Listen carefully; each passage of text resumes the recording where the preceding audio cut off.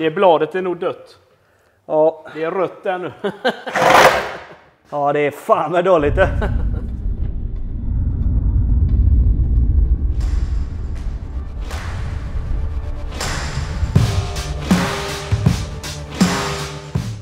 För att kunna bygga ett chassi i fyrkantsprofil eller i rör som vi har valt att göra är det bra att konstruera en robust jigg. Jiggen är den plattform allting byggs utifrån och håller allt på plats, så det är av vikt att jiggen inte är för vek. Konstruktionen är till för att hålla allt ifrån stötfångare till motor och låda på sin tänkta placering tills de kan sitta där utan stöttning av jiggen. Toppdäcket på i-balkarna som vi använt för att bygga den här jiggen är det som iscensätter marknivån och det är härifrån alla mått och höjder sätts under hela byggnationens gång. Man kan helt enkelt säga att litar man inte på sin jigg är risken ganska stor att slutresultatet blir lidande.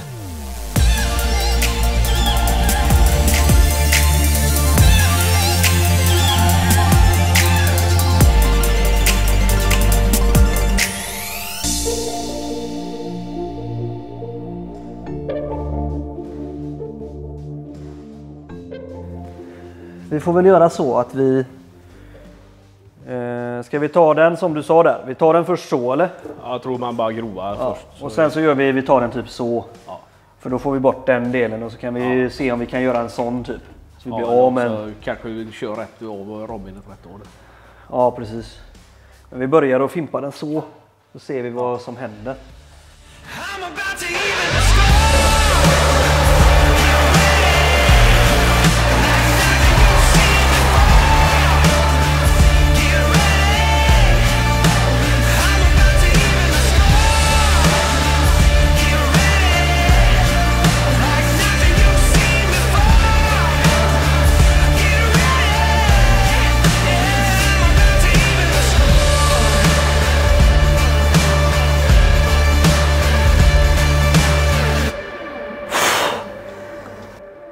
Bara dubbelblåtar där märker jag.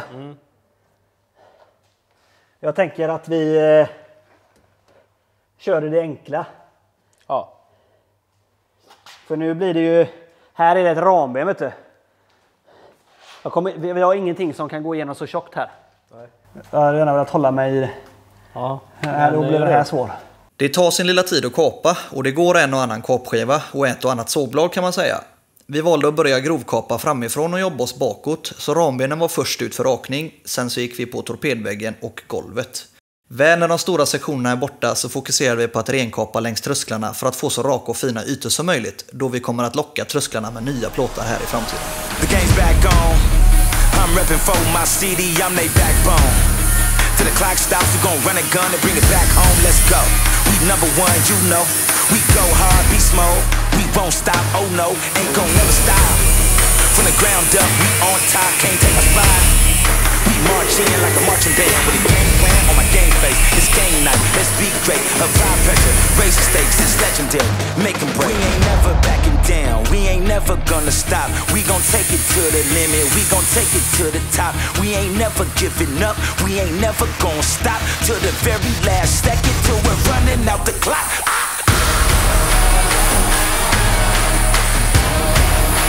Ain't never gonna stop. To the very last second, till we're running out the clock.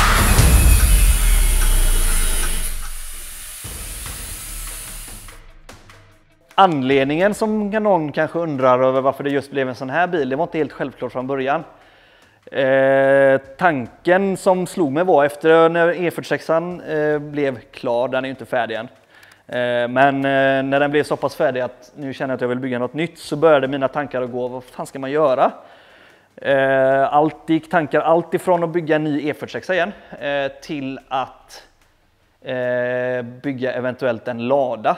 Det låter sjukt, jag vet, men den var jävligt fet i renderingsfasen. Det är en kille från Ryssland som gjorde en riktigt schysst rendering som, gjorde jag, som jag blev toksåld på.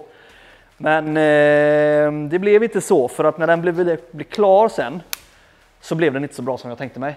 Eh, och då blev jag så här, fan också. Eh, och då började- kom jag tillbaka till tankarna på E46 igen. Men då kände jag bara, fan det är gjort. Eh, vi har gjort den biten nu, men vad fan kan man mer göra? Och sen så någonstans, jag vet inte, jag tror jag såg på något jävla tv-program eller Youtube eller vad det kan ha varit. Så kom jag in på en, så var det just en Red Bull VRC Polo som var framför mig. Så bara, fan det är lite fränt liksom.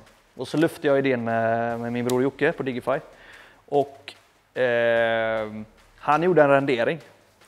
Eh, och eh, den renderingen blev ju jävligt bra. Så jag blev svinsugen på det. Och eh, därifrån egentligen kommer hela själva konceptet med just den här bilen. Det var inte tänkt så här på långa vägar från början. Men eh, det var så det blev och eh, när eh, Joakim hade gjort den renderingen och jag fick se den för första gången i en eh, sån här upplöst bild och allt vad det nu är, han kan ju det där.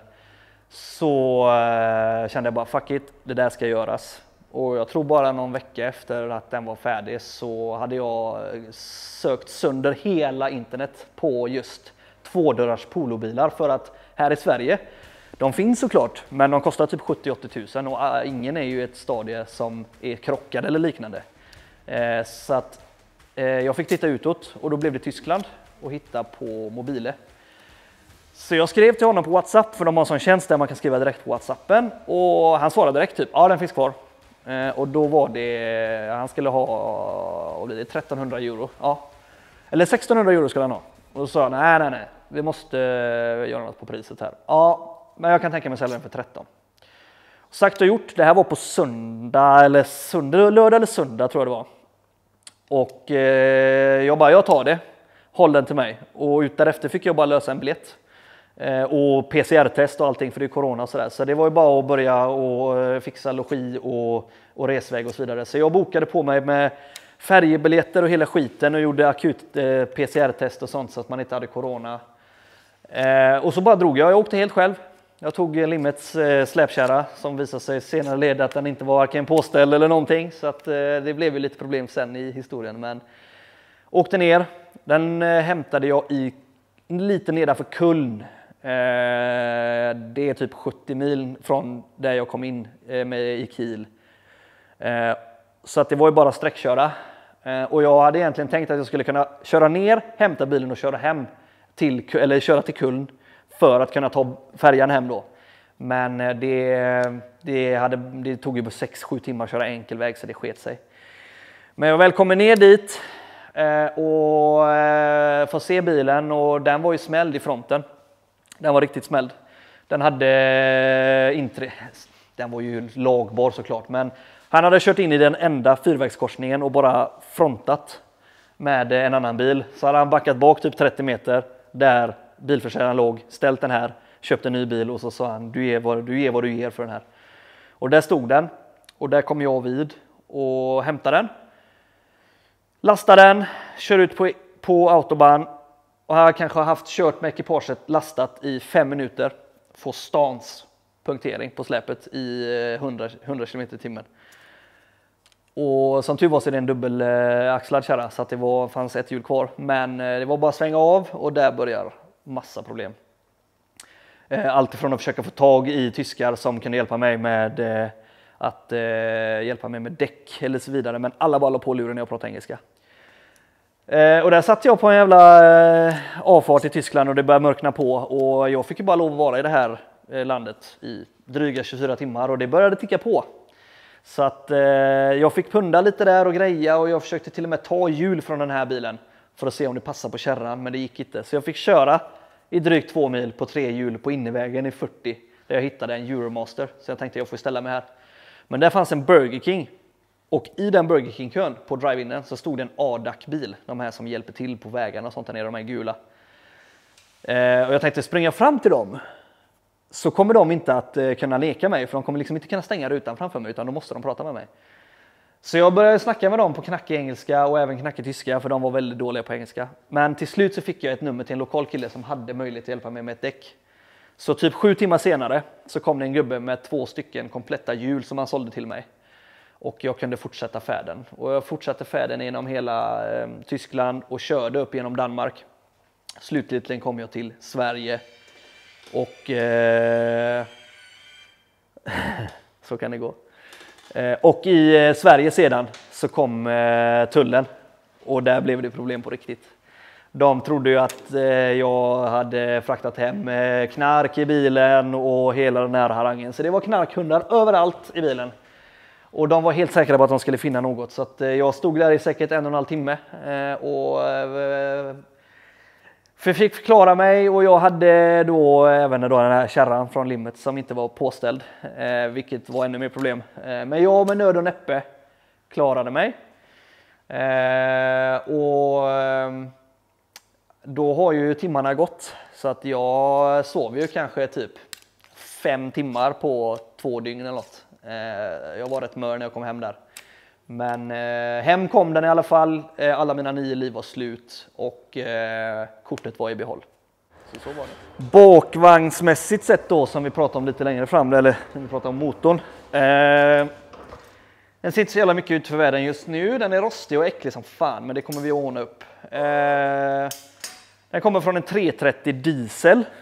Det går fort i Mjölbykurvan. Man kan säga att det har blivit lite ändringar i bakvagnskonceptet sedan detta spelades in, så jag tycker vi snabbspolar lite här. Mer om detta kommer i nästa avsnitt. Eh, sen så tänkte jag vi skulle snacka lite om vad, i och med hur den ska sätta, fästas upp. Eh, vi kommer ju ha en, såklart en huvudbåge. Eh, den kommer vara någonstans här kring i bilen. Kanske lite längre bak. Vi får se vad, vad stolar och så vidare kommer. Eh, och framförallt hur långt bak motorn kommer. Men den här eh, huvudbågen kommer vara det som avgränslar eh, kupé emot eh, alltså yttre delen. Eh, det kommer alltså vara ett helt tätt härifrån. Så allting här bakom kommer att vara eh, öppet. Eh, så att alla de här lockerna, det är det som var avgörande med att vi gör så. Att vi lockar in det och gör det snyggt. Det är för att man ska kunna typ mer eller mindre stå här och titta. Du kommer se igenom hela bilen. Eh, så att det kommer bli liksom så här skelettliknande liksom. Eh, och jag tycker att det är en cool idé och sen så sparar det en jäkla massa tid eh, och slippa behöva bygga några riktiga hjulhus. Du behöver inte tänka på att boxa in saker och ting på det sättet så det kommer spara en jäkla massa tid. Ehm, och som sagt, eh, infästningen till, till subframen, eh, den kommer att utgå från huvudbågen. Så att troligen blir det så att de strävorna som kommer uppifrån här, ifrån huvudbågen, och går till de bakre. Och sen ifrån första väcket här kommer det gå till de främre. Det blir lite så, vi får se lite grann exakt hur det blir för att eh, det finns lite andra grejer att ta i, i, i beaktning här och det ska ju till exempel in en tank här bak och så vidare. Det ska till lite airjacks och sånt. Och det kommer ju eh, i såklart ifrån, eh, som ni säkert har kanske redan förstått ifrån, från NUK som står på alla som är med här. Ehm, de grabbarna på NUK, de har gått in helhjärtat så vi kommer köra allt som, kommer, som de har i stort sett if, ifrån, eh, ifrån deras eh, katalog. Vi kommer köra deras airjacks, vi kommer köra deras tanksystem. Eh, vi kommer använda sig alltså, av alla prylar som de har, alla PFT-slangslösningar och sådär. Så att, eh, det ska bli svinskoj. Eh, och vi kommer att köra den, deras eh, svarta aluminiumtank, deras egna. Eh, för eh, den är riktigt schysst eh, och de har bra storlekar på dem. Så att man kan måtta in den så att det blir riktigt bra. Så, eh, så, så är det egentligen tänkt gällande bakvagns delen här. Så som det är tänkt med den här eh, tröskel, eh, som ni ser så har vi kört ut rätt mycket här. Eh, normalt sett så går det, det sitter ju en plåt här eh, som är ihop med både ytter, ytterkarossida, eh, den, den stora strukturella innerdelen och sen så är det en innerplåtsida här som går ihop och möts med golvet. Den, går, den är ungefär ganska bullig, den är typ så här tjock, den sticker ut en 15, 15 cm liknande. Den har jag kört bort som ni ser genom att köra ut de här eh, punkt, eh, punkterna som är här. Eh, planen är att eh, hela vägen härifrån och upp hit kapa så man är ungefär här uppe, lägga 45 ut där. Bara för att skapa en så, så schysst yta som möjligt för att kunna göra en ganska enkel torpedplåt. Jag vill inte att den ska bli så avancerad så jag försöker göra så att alla linjer är så raka som möjligt för att det ska vara så enkelt att jobba med. Eh, men det kommer bli en plåt här som kommer locka den här delen. Eh, och den delen kommer att gå hela vägen. Eh, det kommer att se lite annorlunda ut på utsidan för att vi vet inte exakt hur vi ska dra med oss tröskeln där. Det kommer bli kanske en tårtbit, det kan man förklara på en annan sida sen när man kommer dit. Men det blir i alla fall en plåt här som lockar. Och ovandelen här kommer också att lockas med en helt egen plåt. Så att den kommer hela vägen här. Och kommer att gå ihop med den plåten här så att det blir liksom en fyrkantig box. Eh, och sen så då har vi kört ut den här plåten här som ni ser och den är ganska stabil den här plåten egentligen så att det måste ju sättas, eh, måste tillsättas en till plåt. Eh, och det blir en skarv här som originalet är som vi kommer att sätta hela vägen uppifrån och ner som går här Eh, och det kanske blir typ lite som Victor var inne på, man skulle typ dimple diet eller någonting bara för att få lite liv i det. Eh, men själva tricket med att vi gör så, det är för att vi blir av, vi, jag vill bli av med perforerade plåtar som inte är så snygga. Jag tycker att det ser så jävla... Det ser inte så roligt ut när man har för mycket av originalperforerade plåtar och sånt. Så att det blir en, en, en schysst eh, rak plåt som har som uppgift att möta det yttre skalet här. Eh, eller karosskanten. Det är för att vi ska kunna locka snyggt här. Så att den kommer här och möts upp med den där innerdelen. Så att det blir ett snyggt eh, av, eh, alltså en, en snygg 90-hörna som, som möter upp med alla andra plåtarna här så att det ser eh, igenboxat ut helt enkelt. Dels för att det blir snyggt och funktionabelt i den meningen att vi får mycket plats. Men, men också att man hjälper till och stagar upp det. Eh, sen så kommer ju den här strukt, eh, själva ytterskalet, det är ju inte det som är eh, det bärande utan det blir ju chassit sen om man säger så. Så att eh, själva röromschassit. Så att det här har ju ingenting med för den strukturella delen att göra utan det är mest för det estetiska. Eh, och sen så blir det en locka här då mellan absoluta ytterplåt och den här kanten hela vägen som möter upp hela vägen bort till pottan. För att det här ska bli lite stabilt för som ni ser nu så är det ju bara fullständigt medskickat alltihopa. Så där lockar vi och när man har gjort det så blir den svinstark den delen sen. Då kommer inte den komma någonstans.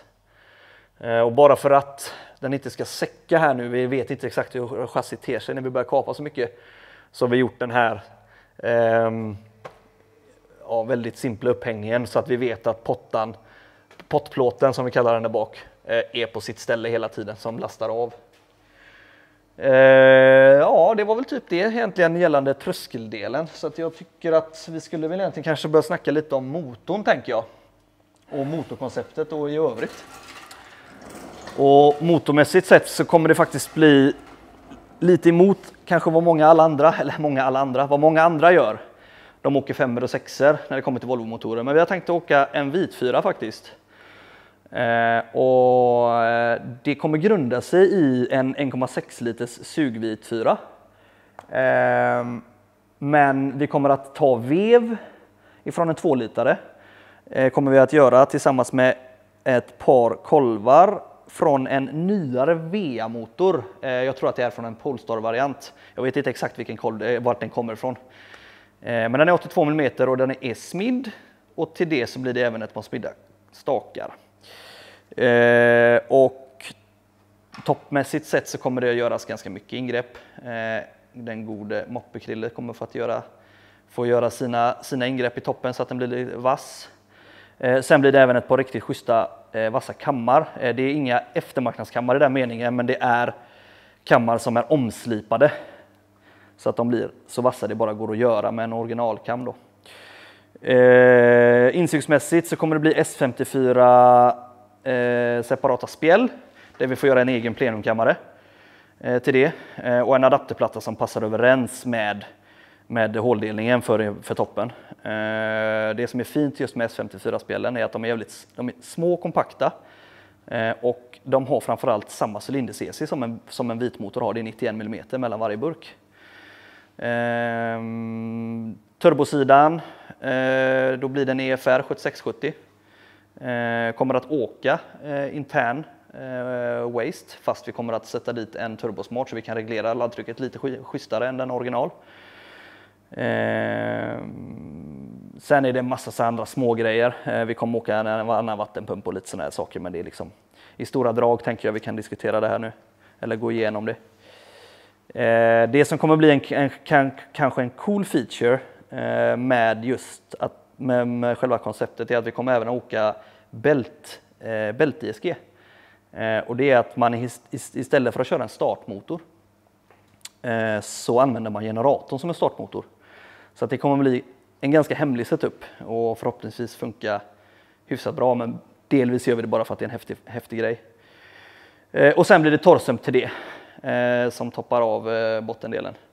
Så eh, motorkonceptet kommer bli lite special, men jag tror att det kommer bli rätt fräckt. Vi ämnar någonstans runt en 650 hjulhästar hade varit fint. Vi får väl se lite grann vad det ger. Eh, växellådsmässigt sett så blir det en M4 DCT-låda. Eh, vi kommer åka Domiworks adapterplattekit för att göra det väldigt enkelt för oss. Det är schyssta grejer och det gör livet mycket enklare att man inte behöver göra några kapningar i sprängkåpor eller så vidare utan man, man tar komponenterna för, komponenterna för vad det är. Eh, Så det är egentligen så det ser ut eh, i stora drag. Man kan ju hålla på och prata om det här i hundra år eh, om vad det är som ska göras i detalj. Men i stora drag så är det så. En 1,6 liters vitfyra med M4 DCT-låda. Som tidigare nämnt så kommer vi att åka med eh, Domiworks Adapter adapterkit. Eh, och jag tänkte att vi skulle bara göra en liten djupdykning och titta lite på prylarna hur de ser ut. Eh, utöver att de är sjukt nice att titta på så har även Domiworks byggt in lite schyssta features i det som gör att eh, kunden själv får eh, eh, välja om man vill åka med Volvos originalut eller om man vill åka rakställt. Eh, och som i mitt fall så kommer jag att åka rakställt i och med att jag ska åka en torrsumsbaserad motor. Eh, så eh, passar det aldrig mig, mig alldeles ypperligt. Sen utöver adapterplattan så kommer vi att köra med deras eh, billetfrästa aluminiumtråg. Eh, utöver att det är sjukt, sjukt trevligt att titta på så eh, har den även eh, 25% mer oljekapacitet i tråget. Eh, vilket är alltid schysst att ha. Ehm, sen så en grej som jag tycker är riktigt nice med det, det är att om man jämför med, med växellådans originaltråg som är i plast så är det här lite mer hållbart. Eh, och det ser jag som en stor fördel. Eh, sen så har vi den här lilla produkten och den här eh, eh, tillåter dig att köra olja in och ut i växellådan med AN med AN-anslutningar. För mer information om Domeworks produkter besök deras hemsida. Eh, länken finns i beskrivningen nedan. Sen när det kommer till den ekonomiska biten och kanske lite anledningen till varför jag, eller jag eller vi rättare sagt, Flaxan är väl en del av den här eh, idén om varför vi har just valt en vitfyra. Men anledningen till att vi har valt det här det är för att det är en sån fruktansvärt billig motor och du, följ, du, du får ju de här motorerna i stort sett. Jag tror att jag köpte, jag var uppe i Örebro, hämtade en vit 4 för 1200 spänn tror jag på en skrot, just för att det var en 1,6 som vi ville ha då. Det här är bara en mockup så det här är en 2-litare.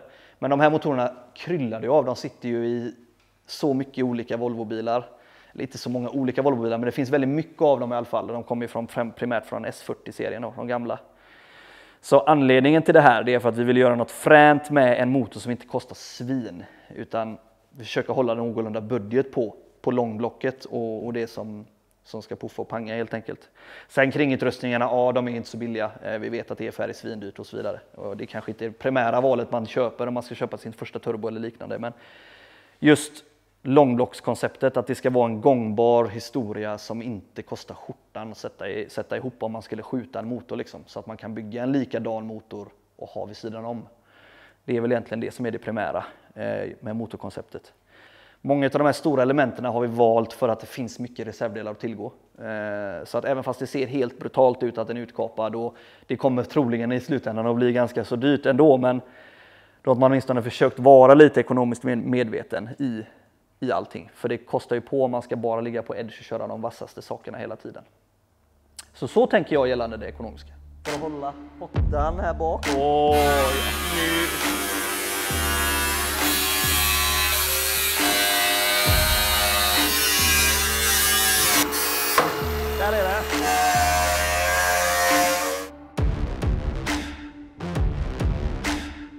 I nästa avsnitt av Nuke Polo tar jag och Pluppen Nukes Mercabuss och drar en snabbis till England. Och man kan lugnt säga att det inte gick according to plan om man säger så. Jag vet inte riktigt vad jag ska säga. Vi har varit med om det absolut sjukaste som jag aldrig, jag aldrig någonsin varit med om något som, som har varit en, något, något liknande. Vad tror ni att vi hämtade i England? Gå gärna ner och skriv vad ni tror i kommentarsfältet. Gå även in och följ Digify och Nuke som finns på alla sociala medieplattformar. Och glöm inte att klicka på subscribe-knappen och den där ringklockan så ni får notis när nästa avsnitt släpps. I